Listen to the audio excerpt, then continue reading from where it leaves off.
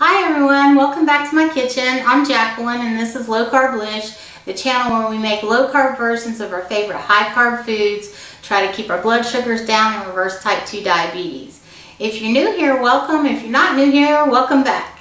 Um, today we're going to be doing something really simple and really tasty. I got an email from a gentleman not too long ago and he was telling me that he is really on a tight budget and also he does not enjoy cooking and so the extent of his cooking is rotisserie chickens, canned foods, frozen foods and, and that. So um, we're going to make a chicken vegetable soup today with mostly canned items and some frozen items and I've got some rotisserie chicken here too and I'll leave all the macros and the calories and everything down below. This um, soup is super low carb and also very low calorie and like I said it's really tasty. So I'm just going to go over what we're going to put in and then I'm going to move everything over to the stove because this is like a one pot deal.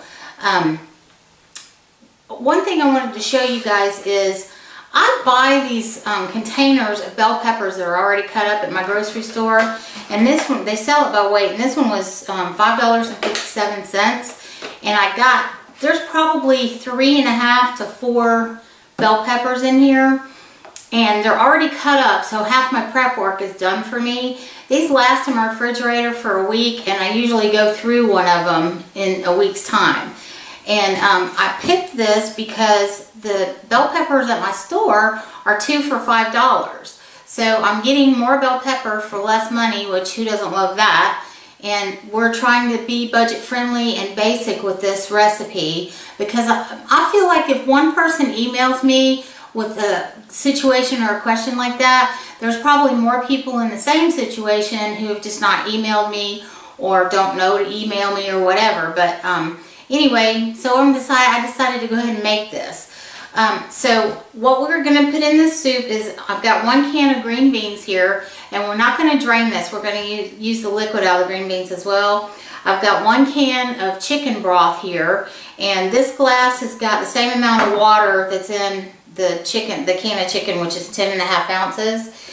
And then we've got one can and this can is actually smaller than what um, I have been seeing. So I don't know if this is, um, what do they call that now when they're, um, it's, it's a means inflation, but it's, I think it's size inflation or something.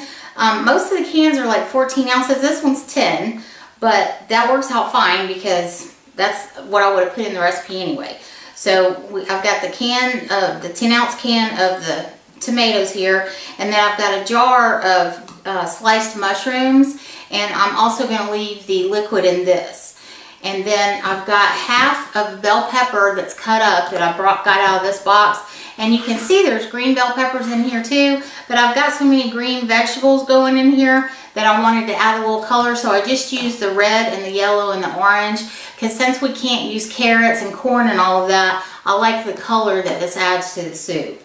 Um, I've also got a half a cup of edamame beans and these are frozen and so far I have not been able to find a Walmart that didn't carry these. If you can't find them in your area, let me know. But they're in the frozen food section and um, they have them at Walmart and at my Walmart they run about $1.86 a bag and there's um, like I think three or four cups in the bag.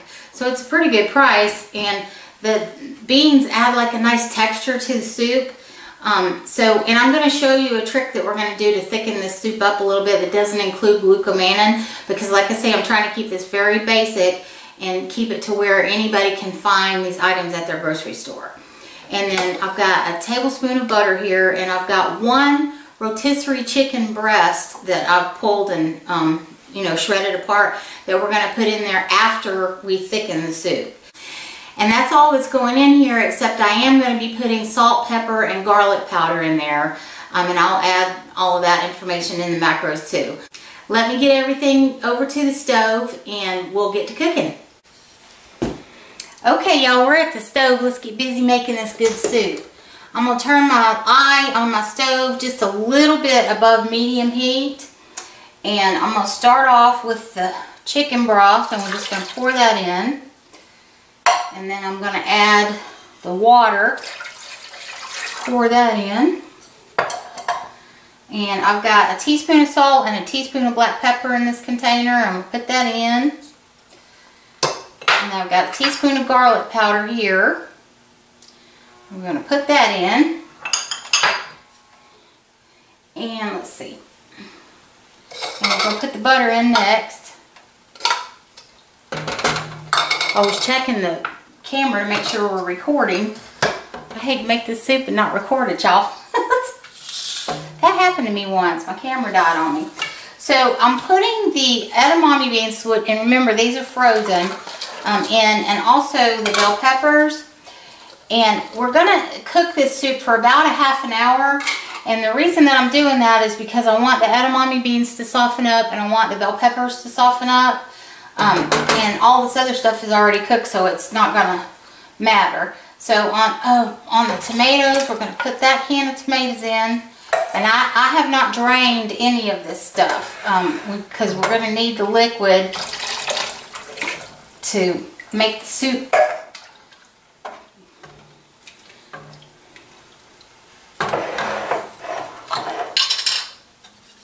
And then our mushrooms go in. And y'all, this jar of mushrooms, I never bought this kind before. It's called Pampa, P-A-M-P-A.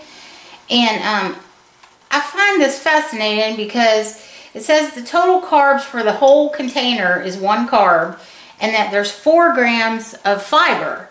So I'm not exactly sure how that works. I'm counting this as zero um, net carbs because I don't understand that, but we're going to go with it because that's what's on the jar. Um, and so now we've got our basic simple spices in here. We've got everything except the chicken. And like I said, we're going to be adding the chicken in a little while. But the chicken's already cooked too. So we really only have to um, heat that through. And so I've got to take some of these veggies out to thicken up the soup. So we're just going to leave it like that. I'm going to cover it. I'm going to set my timer for 30 minutes and let this um, stuff cook for half an hour because we want, like I said, we want the beans and the um, peppers to soften up. And then when we are at the 30 minute mark, I will come back. Here we go.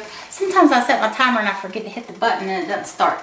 Um, but anyway, we'll be back in about 30 minutes and we'll thicken it up and I'll show you how to finish it off and we'll be eating some yummy chicken veggie soup.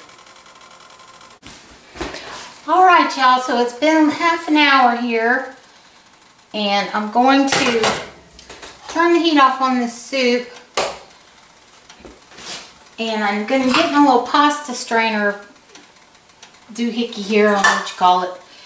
And I'm going to um, take some of the veggies out here and I'm putting them in this little bowl instead of right into my little mini um, food processor because I don't want to crack my plastic bowl part of my food processor. So I'm going to let this cool off a few minutes while we're putting the um, chicken and everything in here.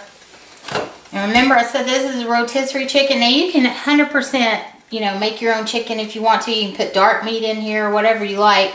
Um, I just had this rotisserie chicken breast and so that's what I'm going to use in it. Um, and also because we're trying to make this an easy recipe for people who don't really like to cook. So I'm going to let the chicken sit in this broth and heat through. And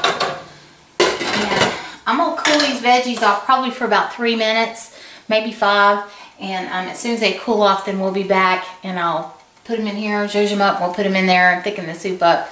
And then I'll show you one more um, tip if you want to make it a little richer still. Alright y'all, it's been about five minutes, so I'm going to put my little veggies in my food processor here. My mini zhuzher.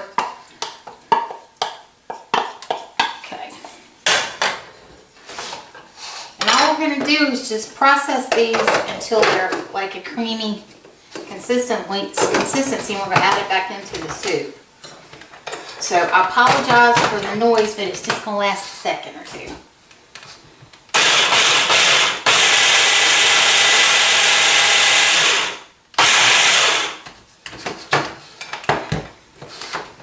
Y'all, I use this little um, appliance almost every day and it's funny because I bought the system because this thing um, comes with an immersion deal And I hardly ever use that, but I use this part of it all the time, which surprised me. I'm thinking about doing a giveaway with one of these soon. do y'all think that's a good idea? I really like mine. A little spatula out of the drawer here. Okay, so y'all can see we just have nice soup in here and we're going to add this in. And it's just going to oh my gosh. That was graceful. Um, we're going to just add this in and it'll help thicken it up some. And remember this is a soup it's not a stew so it's not supposed to be thick like a stew. Um, but you know it adds a little extra body to the soup so let me put these aside real quick and let me um, clean up this little mess I made and I will be right back. I'm telling y'all it takes skill to do the dropping I do sometimes. Just, oh my gosh, I crack myself up sometimes. All right, put this over to the side too.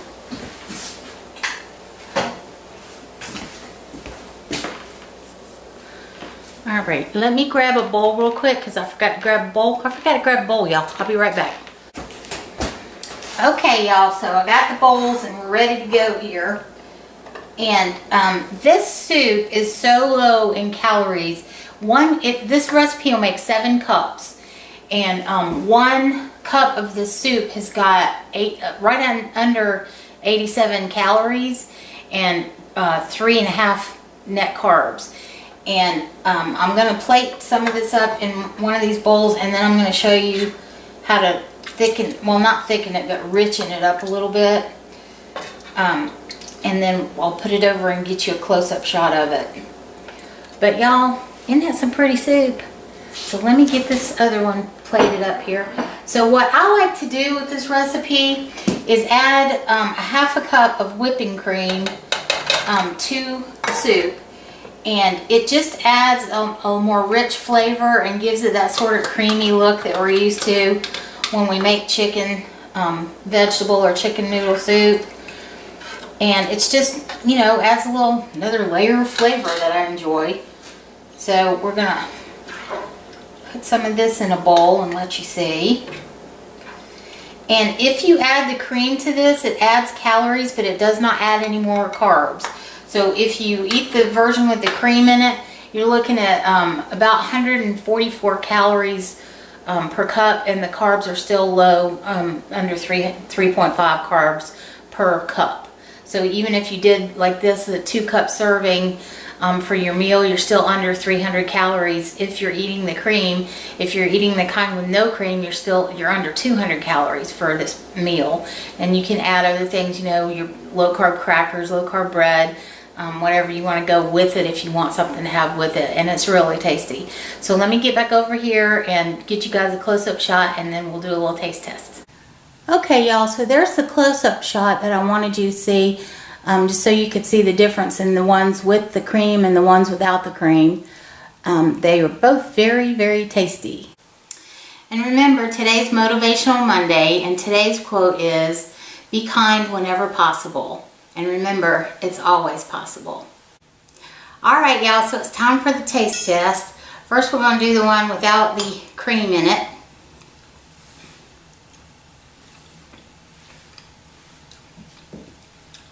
Very good. Me get a sip of coffee.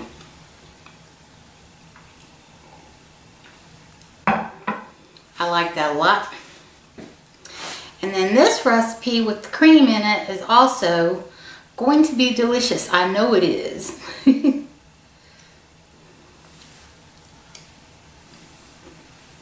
mm-hmm.